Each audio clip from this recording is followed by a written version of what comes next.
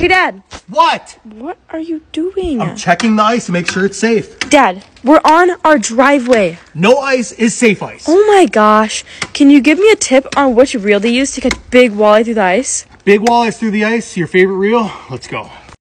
All right, guys, when it comes to catching walleyes on the ice, you're gonna want a reel that does two things. First, it needs to be super smooth, and second, it needs to have an incredible drag so that way when you hook up, that walleye does not get away.